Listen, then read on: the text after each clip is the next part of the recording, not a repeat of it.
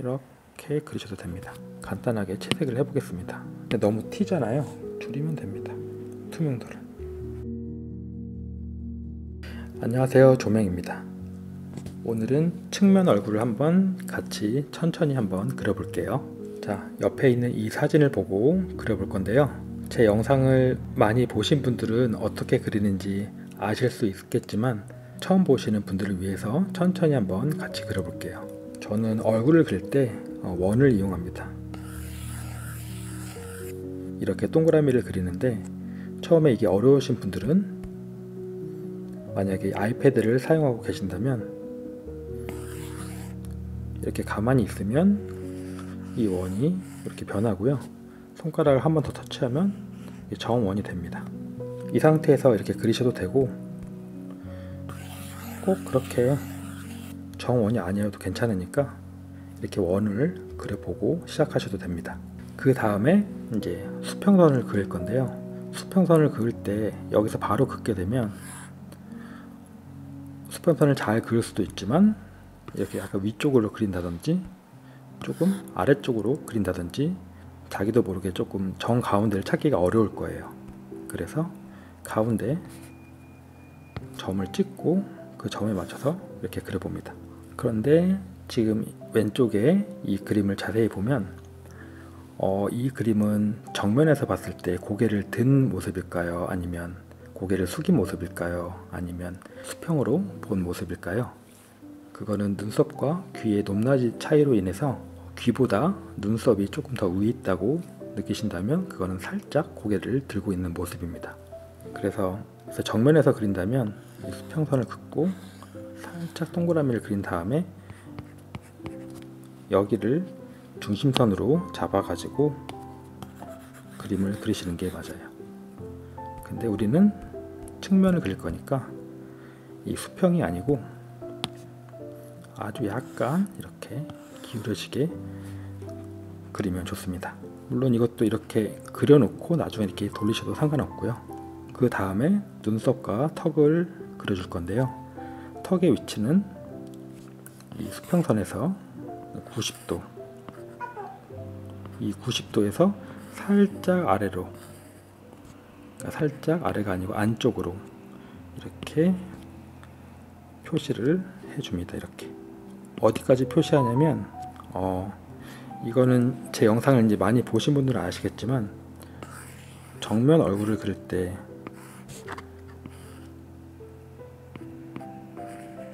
이 얼굴형을 저희가 만들 거거든요. 그때 이렇게 한이 정도 살짝 아래 이렇게 표시를 하는데 이 얼굴을 정면으로 그렸다고 했을 때 나는 한 이 정도로 그릴 거야 하면 그 위치에 맞춰서 그리면 됩니다.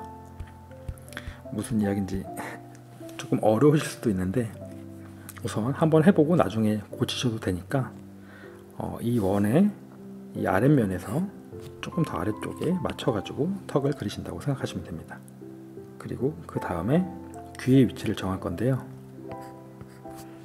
제가 자주 사용하는 인형인데 이렇게 인형이 찌그러졌습니다. 자, 이 인형을 보면 원을 이렇게 한, 한 부분을 잘랐을 거예요. 이렇게 이 라인들이 보이시죠? 그 라인들이 사실 이렇게 단면이 있다고 생각을 하시면 됩니다.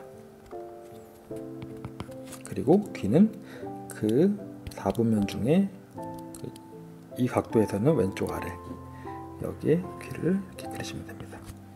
그 다음에 음, 귀 아래쪽으로 턱을 만들어서 이렇게 턱을 이어줍니다. 그리고 목을 그릴 건데요. 목은 생각보다 살짝 이렇게 뒤쪽을 향하게 되어 있습니다. 이렇게 90도로 꺾 90도로 이렇게 세워져 있는 게 아니고 살짝 이렇게 뒤쪽으로. 이렇게만 그리면 조금 되게 약간 어색하다 생각하실 수 있을 건데 그림을 이렇게 놔두지 말고 어, 몸을 못 그리신다고 하더라도 이렇게 목이 이 방향으로 왔다면 몸은 반대로 이 방향으로 꺾이는 것처럼 이렇게 몸을 살짝 그려주시면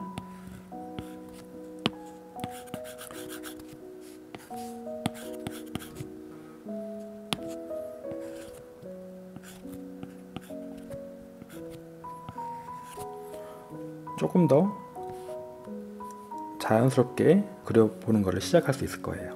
자 여기까지도 조금 어려우실 수 있지만 어, 천천히 한번 해보는 겁니다. 그 다음에 이제 뭐 목이 두꺼워 보이거나 이런 거는 나중에 다 고쳐볼 수 있으니까 우선 기본 가이드라인을 그려보는 거예요. 그 다음에 코의 위치를 정할 건데요. 눈썹과 턱의 가운데 부분 이렇게 있다고 하면 한 이 정도가 가운데가 되겠죠. 그 가운데 부분에 살짝 튀어나오게 이렇게 코를 그립니다. 제가 이렇게 코를 그리는 걸 보고 삐에로를 그리는 것 같다고 얘기를 많이 하시는데 저는 이렇게 그림을 그립니다. 그 다음에 눈의 위치는 코보다 살짝 위에서 체크를 하고 눈썹 라인 그 앞에 그 다음에 이 눈이 이렇게 크게 그려지는 게 아니고 여기 보시면 아시겠지만 요 라인과 요 라인을 넘어서지 않습니다. 그래서 이렇게 우선 이렇게 그려 놓을게요. 생각보다 측면의 얼굴에서 눈이 차지하는 비중은 되게 작습니다. 근데 저희가 정면 얼굴을 많이 보다 보니까 눈은 이렇게 크잖아. 이런 생각으로 눈을 되게 길게 그리시는 분들이 많이 있는데 물론 만화체에서는 충분히 그게 가능한데 조금 어, 실제 인물에 가깝게 그리고 싶으신 분들은 이 눈의 너비를 좀 줄여주시는 게 좋습니다. 그 다음에 이제 요 이쪽 얼굴 앞쪽에 라인을 그려볼 건데요. 조금 이해하시기 편하시라고 제가 살짝 이렇게 줄이고 layer를 하나 올려가지고 그려볼게요. 여기에서 이렇게 그리면 됩니다. 이렇게 하면 너나 이렇게 그리지 이게 어렵잖아 이렇게 얘기하실 수도 있을 것 같아서 우선 첫 번째 이 얼굴 외곽 라인에서 가장 들어간 부분은 우선적으로 이 눈 가운데라고 보시면 됩니다. 근데 지금 사진을 보시면 이 가운데가 아니라 여기가 들어갔잖아요. 근데 기본을 그냥 가운데로 놓고 때에 따라서 코가 크신 분들은 이 위로 조금 올리셔도 좋고 코가 콧대가 낮으신 분들은 또 이 아래에서 하셔도 됩니다. 근데 기본은 여기가 가장 아래쪽이다. 여기서 코를 이렇게 이어가지고 이렇게 그 다음에 가장 튀어나온 부분은 어딜까요? 가장 튀어나온 부분은 이 눈썹 라인처럼 보이지만 여기가 이렇게 튀어나오게 그린 다음에 이렇게 그냥 바로 들어가게 그리시면 이 이마 부분이 너무 들어가게 돼서 얼굴형이 좀 안 예쁘게 됩니다. 그래서 이 이마 부분의 가운데 부분이 볼록 튀어나온 느낌으로 이렇게 그래서 이렇게 그 다음에 그립니다. 그리고 입은 코와 턱의 가운데 부분에 있습니다. 여기 가운데 부분에 있는데 처음에 요 이 입술 라인 그리는 게 어려우신 분들이 계실 거예요. 그래서 어려우신 분들은 살짝 만화체 느낌으로 이렇게 그리셔도 됩니다. 대신에 여기서의 이제 중요한 점은 저희가 처음 잡았던 이 라인 있잖아요. 이 라인 에까지 왔다가 여기서 입술이 나오는 게 아니고 코가 이렇게 튀어나온 것처럼 입도 튀어나와 있다는 것을 아셔야 됩니다. 이렇게. 그 이따가 입은 입술이 있는 입으로 바꿔볼게요. 그 다음에 이제 턱을 이어서 그릴 건데 턱에 보이는 이 라인 있잖아요. 이 라인을 그냥 그리고 바로 목을 그리면 이 부분이 되게 조금 어색해져요. 정면에서 볼 때는 이 라인이 이 턱을 구성하는 라인이 맞습니다. 하지만 측면에서 보면 턱의 아랫부분도 있기 때문에 이 아래 라인을 살짝 잡아서 가는 게 좋습니다. 그래서 때에 따라서는 이 라인을 지우기도 하고요. 아니면 살짝 약간 흐리게 그리기도 합니다. 그 다음에 간단하게 한번 그려보고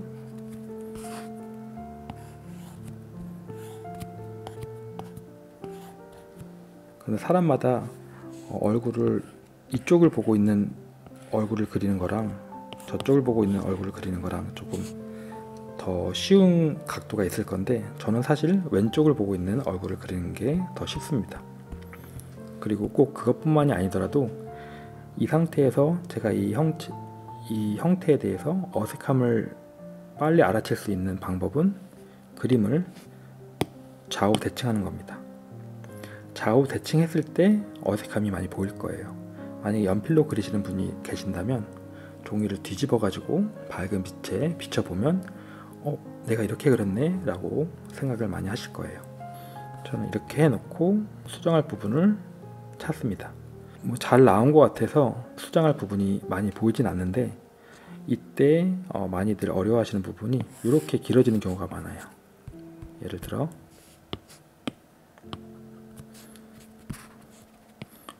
이게 이쪽이 이렇게 길고 여기가 이렇게 길어서 이런 식으로 길어지는 경우가 종종 있을 거예요. 이런 경우에는 이렇게 뭐 지우신 다음에 다시 그리셔도 좋고 이렇게 조금 조정을 하시면 됩니다. 턱은 원래 이렇게 수평으로 그렸다면 수직으로 내려온 것보다 조금 안쪽으로 들어가는 게 더 얼굴형이 예쁘게 그려질 거예요.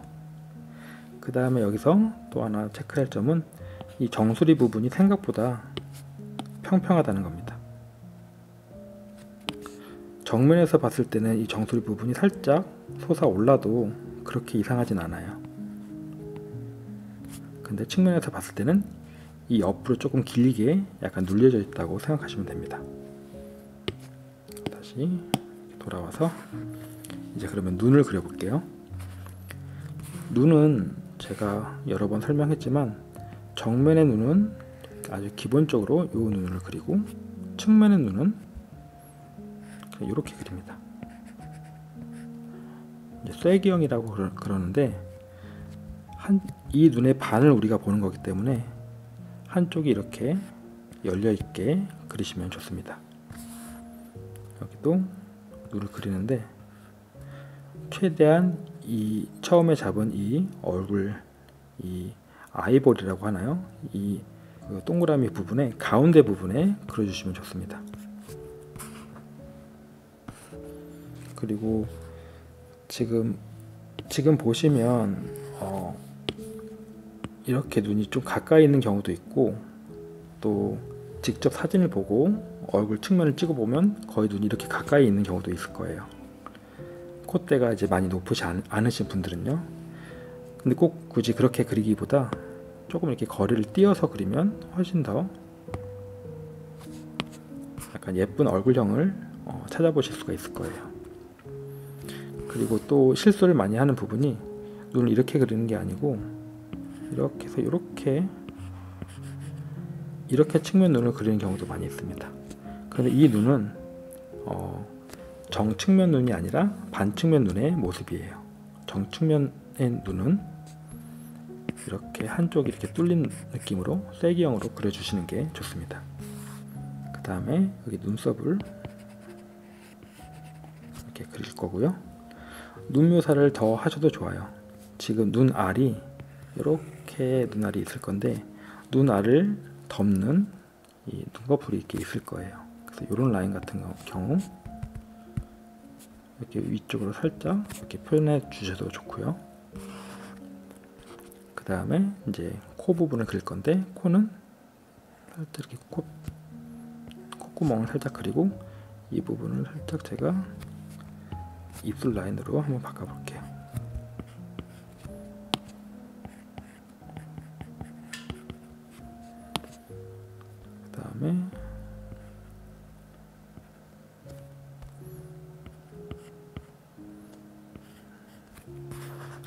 식으로 한번 해봤습니다.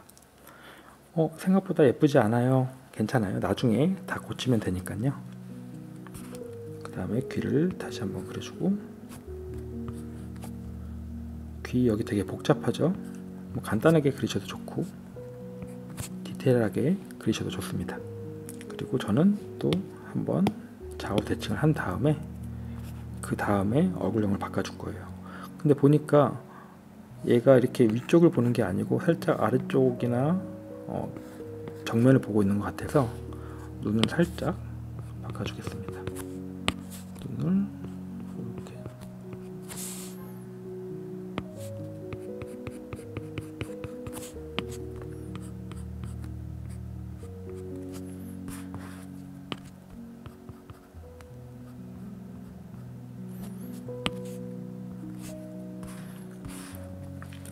그리고 한번 이 아래에 있던 가이드라인을 꺼볼게요. 꺼봤는데 어, 어떤 부분이 어색한지 잘 모르실 수 있는데 저희 같은 저 같은 경우에는 어, 최대한 얼굴형을 조금 더 귀엽게 하기 위해서 코 부분을 살짝 올려주고 턱도 살짝 낮춰주고 이게 너무 작아지면 얼굴형도 그때 맞춰서 살짝씩 줄여주기도 합니다.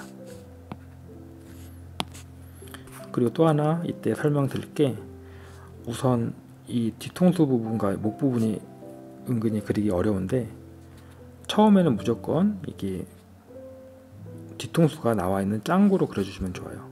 뒤통수가 나와 있다는 거는 나와 있는 만큼 들어간 부분이 있다는 거예요. 그래서 이렇게 튀어나왔으면 그 다음에 목이 이렇게 들어와서 여기서 이렇게 이런 식으로 좀 더 들어가게 그려주시고 어 제가 그리려는 사람은 이렇게 짱구가 아니에요. 그러면 이 다음에 얘를 조금 이렇게 줄여주시면 됩니다. 처음부터 이렇게 줄인 다음에 그리지 마시고 처음에는 이렇게 짱구로 그리시고 그 다음에 맞춰가지고 조금씩 이렇게 조정을 해주시면 됩니다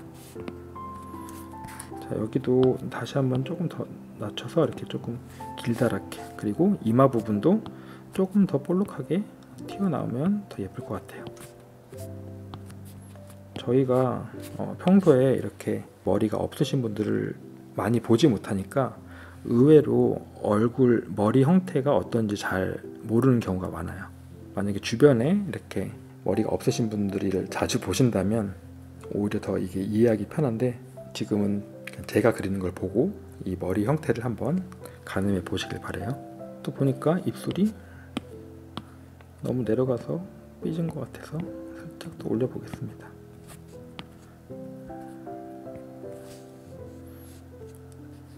되게 애매하게 웃고 있죠?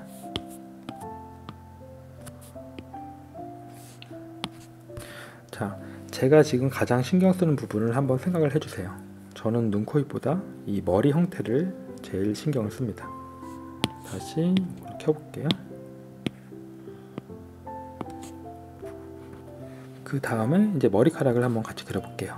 머리카락은 어, 여기 정수리 부분 그리고 눈썹 부분에 가운데 부분이 이마 라인이 시작된다고 보시면 됩니다. 이것도 사람마다 다르겠죠? 기본 기본을 저희가 한번 어, 기준을 한번 잡아 보자는 거예요 여기에서 이렇게, 이렇게 잔머리가 나오다가 잔머리가 있고 이렇게 있고 이 앞에 이렇게 어떤 머리인지도 잘 모르겠는데 이런 식으로 여기까지 이렇게 머리카락이 이어집니다. 이 머리통보다 머리카락은 살짝 튀어나왔겠죠? 그리고 나머지 머리는 여기 묶음에 이렇게 다 이렇게 갑니다 이렇게. 아래쪽은 또 이렇게 가고 또 여기도 잔머리 같은 거. 그 다음에 여기 어떻게 묶여 있는지 모르겠지만 어, 이렇게 묶여 있습니다. 꺼볼까요? 자 그랬는데 생각보다 어, 너무 머리를 꽉 쪼맨 느낌이어서 약간씩만 더 키워볼게요. 이 다음부터는 이제 취향의 문제인데 저는 조금 더 귀엽게 그리고 싶어서 한번 복사를 하고 고쳐볼게요.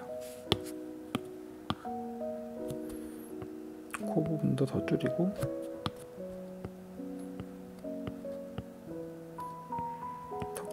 조금 더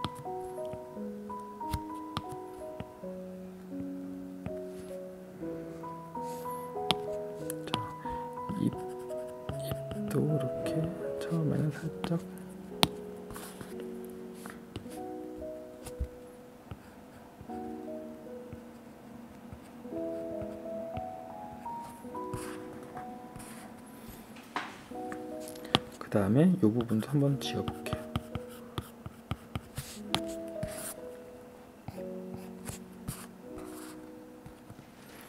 그리고 목을 이렇게 빼면 거북목처럼 너무 빼면 거북목처럼 보이기 때문에 이것도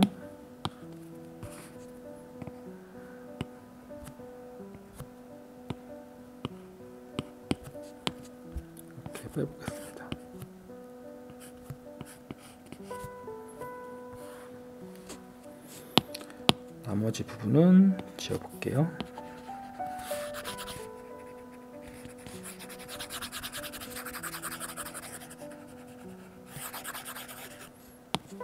그 다음에 뭐 여기 쇄골이라든지 뭐 가슴 부분 그리고 가슴 부분이 이 어깨도 살짝 이 윗면이 이렇게 보이는데 지금은 그거 뭐 따지기 전에 얼굴 연습하는 거니까 간단하게 그냥 측면에서 보는 걸로만 생각을 할게요. 그리고 여기 간단하게 옷을 뭐 리본 같은 게 있고 뭐 드레스 같아요.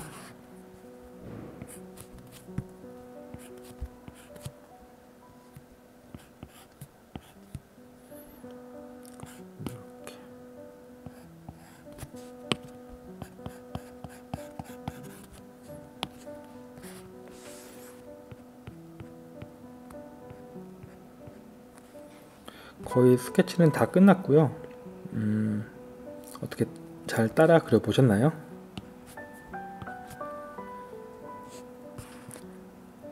어, 측면 그리는 거는 조금만 익히시면 되게 쉽게 그릴 수 있어서 제일 그리기 쉬운 각도의 얼굴이 측면 그리기예요. 그래서 이 방법을 조금만 많이 활용해 보시고 어, 나는 이렇게 어려 보이는 얼굴이 싫어 그러면 조금 더 눈을 올리고 뭐 코를 좀 길게 하셔도 좋고 그거는 그때그때 맞춰 가지고 하시면 됩니다.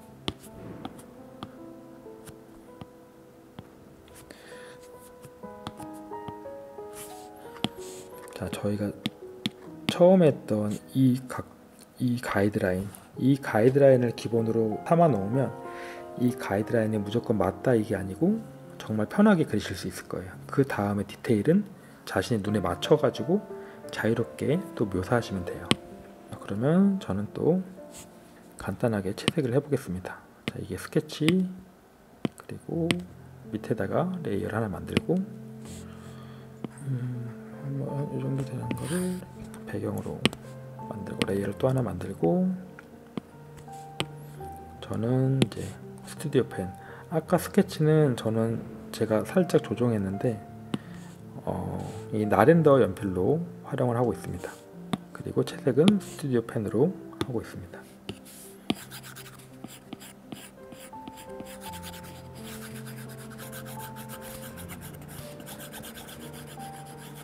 저는 채색을 어, 어떻게 보면 애니메이션식처럼 채색을 해서 엄청 멋있지는 않지만 되게 가볍게 금방금방 그려볼 수는 있어요. 이렇게 외곽 라인만 잡아놓고 이 위에다가 머리카락을 또 한번 채색을 해볼게요. 어, 배경색이랑 너무 차이가 안 나서 조금 밝은 색으로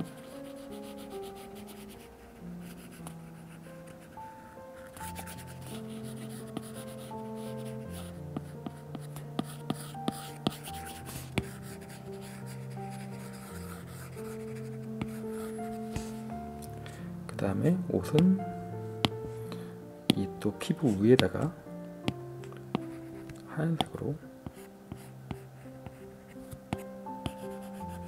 그려보겠습니다.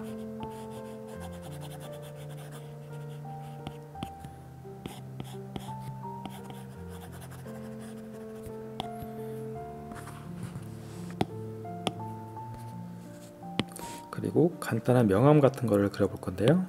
이 피부 layer 위에다가 layer를 하나 만들고 clipping mask를 적용한 다음에 이 색을 찝어서 조금 더 진하게 색을 바꿔, 바꿔 놓고 보통은 이렇게 많이 될 건데 지금은 뒤편에서 빛이 오는 것 같아서 이 앞편에 이렇게. 이 명암 부분도 사실 쉽지 않을 수 있는데 우선 오늘은 저랑 같이 그냥 따라해 보는 걸로 해요.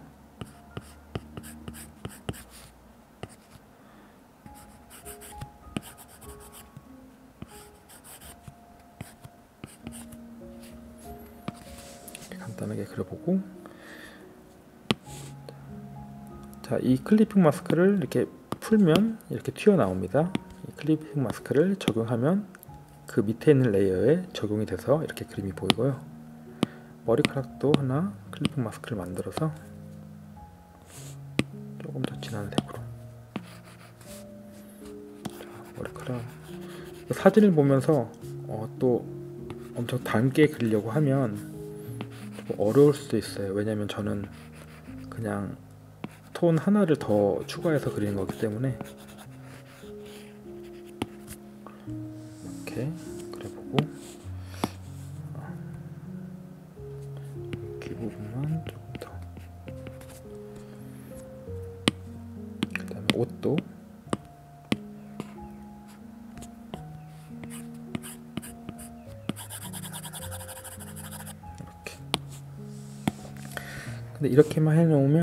음, 재미가 없어서 저는 이 피부색의 명암 물칠한 이 톤을 이 색 조정으로 바꿔줄 거예요. 보라색이 어울릴 것 같아요. 근데 너무 튀잖아요. 그러면 보라색으로 바꿔놓고 줄이면 됩니다. 투명도를 이 정도로 줄이고 자 얘도 머리카락 얘도 살짝 이런 느낌으로 이렇게 투명도를 줄이면 그 밑에 있던 색이랑 겹쳐져 가지고 그래도 훨씬 더 자연스럽게 그림을 표현할 수가 있을 거예요. 이 다음부터는 어, 여러분들께서 더 묘사를 하셔도 좋아요. 이 위에다가 눈도 색을 칠하셔도 좋고 저는 눈을 칠한 다음에 또 투명도 살짝 줄입니다 지금은 그 눈동자가 검은색인데 눈동자도 색을 칠해 주셔도 좋고 입술도 칠해 주셔도 좋습니다. 하나 더 해볼까요? 자 스케치 layer 위에 layer를 만들어서 clipping mask를 만든 다음에 조금 붉은 계열로 진한 계열로 이 외곽선을 이렇게 또 바꿔볼 수도 있습니다. 이게 어울리는지 안 어울리는지는 다양하게 써보시면 좋아요. 어, 명암이 보라색이니까 좀 진하게 보라색을 하면 어떨까? 이렇게 한번 해보는 거죠. 그리고 여기 안에는 피부색 좀 진한 색으로 피부색을 한번 해보고 음, 보라색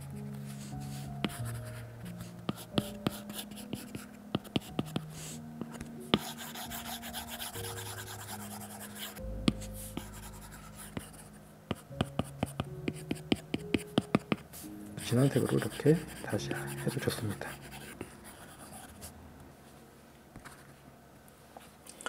자 여기까지 한번 해봤고요. 어, 여러분들은 훨씬 더 다양한 방법으로 또 이렇게 사진 reference와는 좀 다르게 더 응용도 하면서 그려보실 수 있을 거예요. 자, 그러면 오늘 오랜만에 유튜브 영상을 만들었는데 여기서 인사드릴게요. 안녕.